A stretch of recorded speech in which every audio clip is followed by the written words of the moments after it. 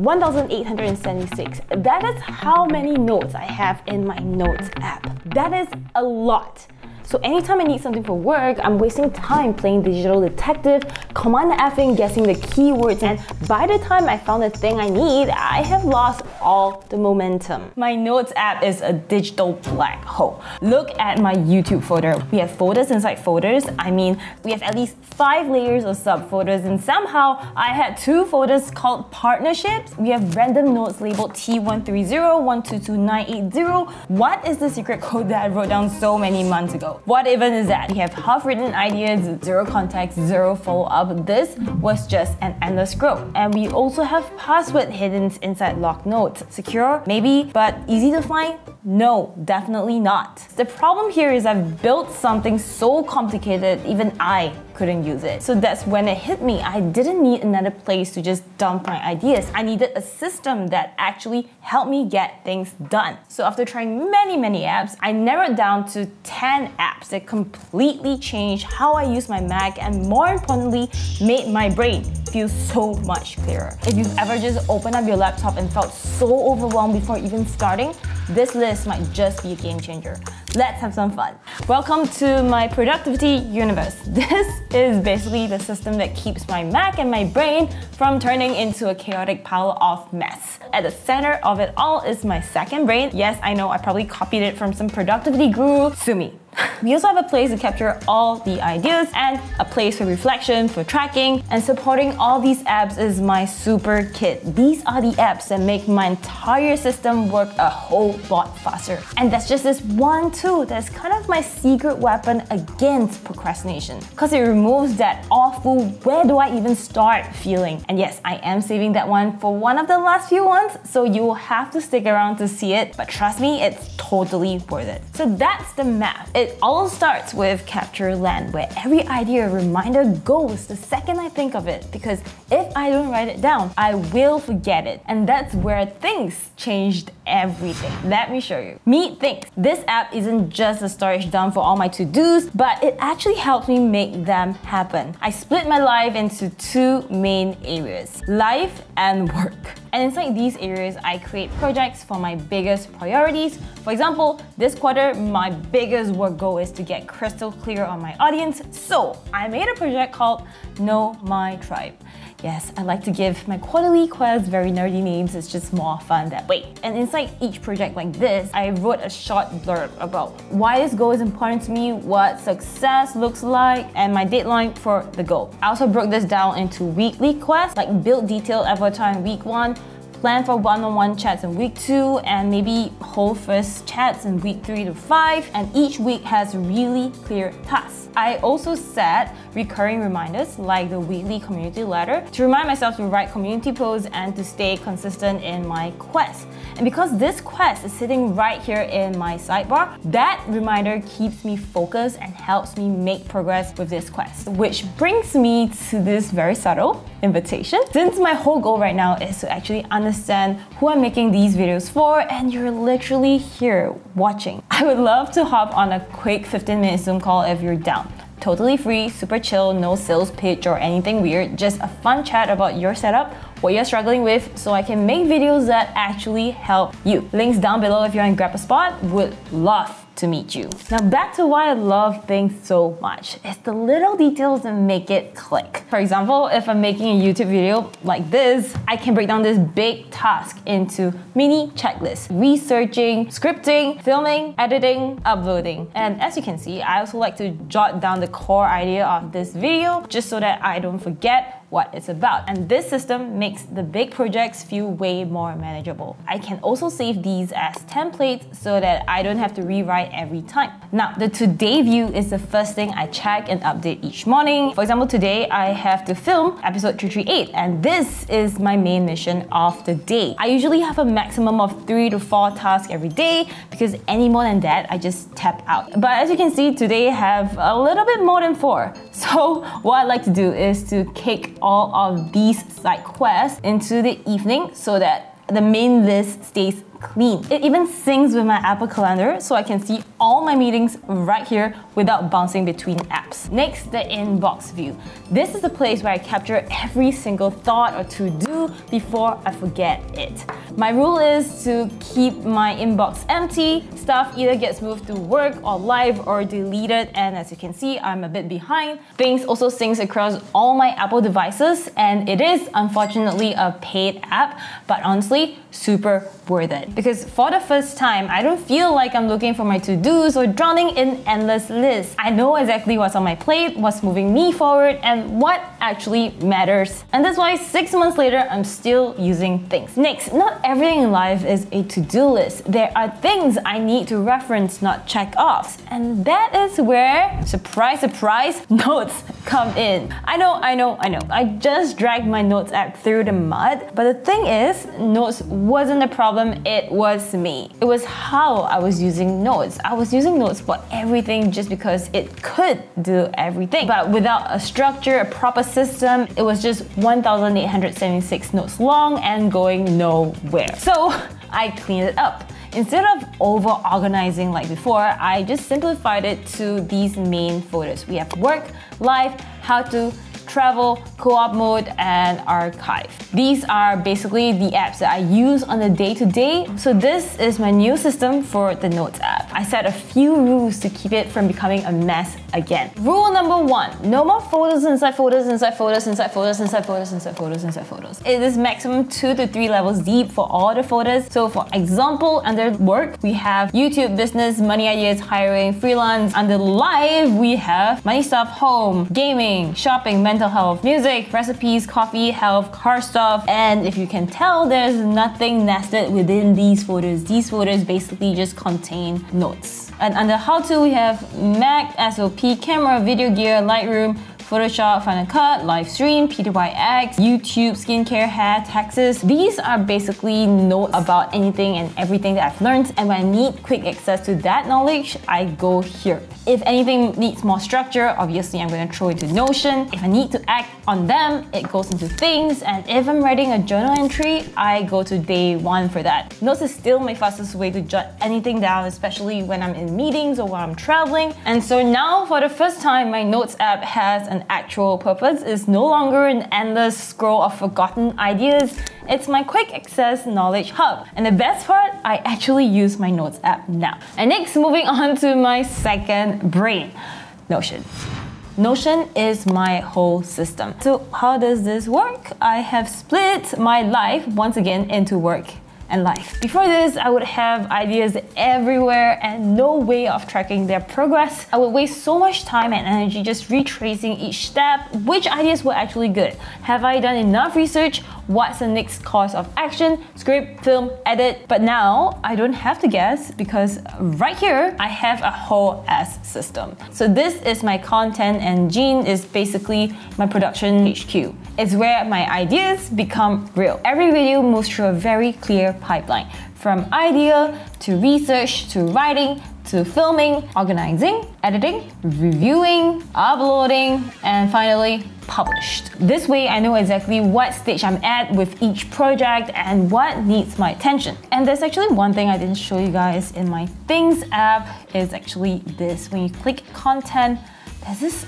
thing of half big ideas that is supposed to go into Notion. So once every two weeks, I actually transfer these ideas into content buckets so that whenever I need a new idea, I just have to pick through this list, put it through my rating system. Once they're approved, I can start working on them. This way, I never run out of ideas. And if we step out of this, we have this dashboard. This is the first thing I see every single day. We have my YouTube charter. I love reading affirmations and why I'm doing this, why this is important. We gotta start the day right. And of course, Notion isn't just built for work. I also built a live OS to track my personal growth, this is the whole system inspired by Ali Abdaal's Live OS. How it works is that we have quarterly quests. I set new ones every quarter. One work, one life. And I do this with Ali Abdaal's free Zoom sessions and that makes it way more fun. I love Notion. Notion is free, flexible, and lets me keep everything in just this one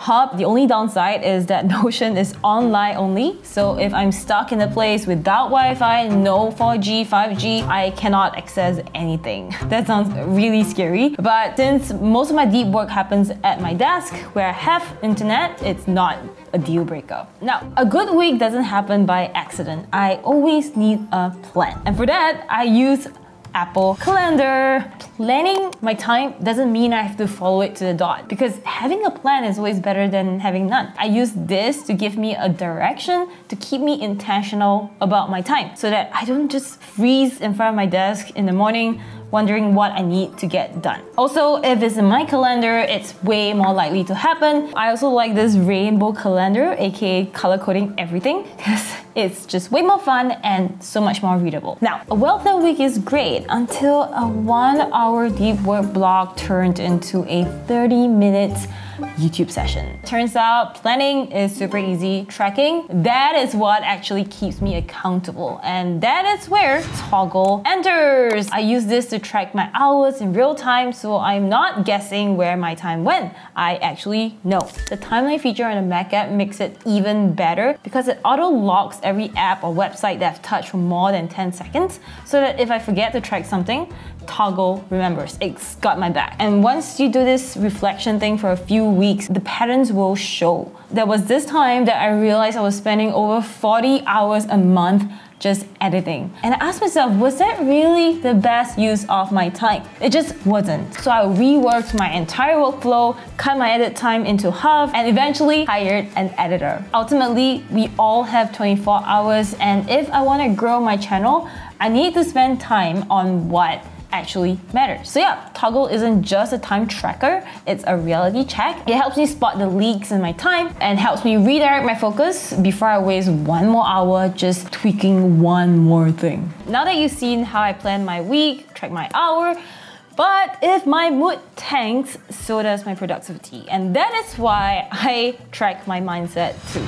Enter day one. Day one is my space to dump my thoughts and look back on what actually helps me thrive. Here's how I use it. I jot down who I saw, what I did, how I felt, and track the patterns over time. For example, climbing with friends, I'm exhausted at night, but it makes me so much sharper the next day. Noted. For example, ice bath on Sundays weirdly makes Mondays really, really fun. So maybe do that more. This is like a cheat code. Lock in what makes you happy and do more of that. Day one syncs across all my Apple devices so I can journal anytime, anywhere, even during mid toilet breaks. Alright, remember that secret weapon I teased earlier? This is it! My Stream Deck is this tiny center of dials and buttons powered by this ridiculously good app that lets you automate pretty much anything. For me, this is my anti-procrastination button. I love this so much for filming. I set up a button here that launches all the apps that I need in the positions that they want when I'm filming. Before this, studying used to be the hardest part. I had to remember which five apps I had to open to monitor audio, video, teleprompter, and I mean, who even remembers the app names? So sometimes I would just rather do the easy thing and just scroll TikTok. Having that much friction to start a task kills inertia bad. And now it's just so much more fun. I literally press one button and opens up everything, lights turn on, and once I'm done filming, I press another button and everything shuts down. This is just so satisfying. And I've done the same for every major task that I have, like my morning routine, for Final Cut, for Canva, for Lightroom, all of that. What I've learned is do not estimate these buttons. They help me to remove friction to getting things done. Plus, it's just way more fun. I'm still in the midst of setting this whole thing up, so it's not the prettiest. So if you know how else I can optimize this even more, please teach me your ways in the comments below. Next, let's talk about the one thing I refuse to waste any more memory space on. Passwords. I mean, you know the drill. You're signing up for a new account, and so you type in something that you think is strong and weak. Fine, let's make it more complicated. Great,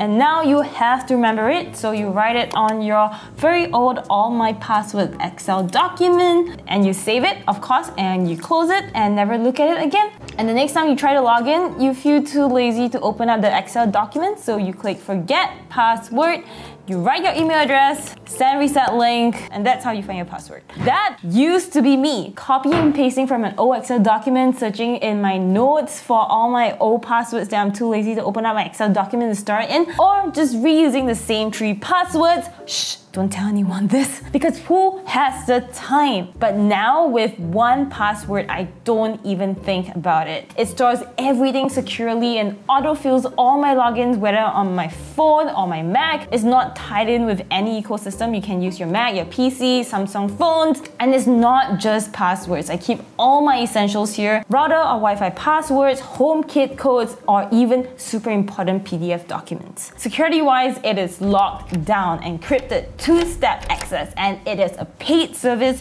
which honestly to me is a good sign because there's no ads or any shady stuff. Since switching to 1Password, my brain just feels so much clearer, no more hunting for passwords, logging in takes just seconds. So if you've ever gotten annoyed by passwords, I highly recommend trying 1Password. Links are in the description if you want to check it out. Number nine on the list is CleanShot. CleanShot is what Apple screenshotting tool wishes it could be. Now, the second I tried it, I was just hooked. This makes capturing and sharing anything on my screen just way faster and cleaner. After you capture a screenshot, you can instantly annotate, highlight, blur, crop, or even hide your chaotic desktop. Thank you, CleanShot. I use it daily, like for circling my Broadway seats for Wicked.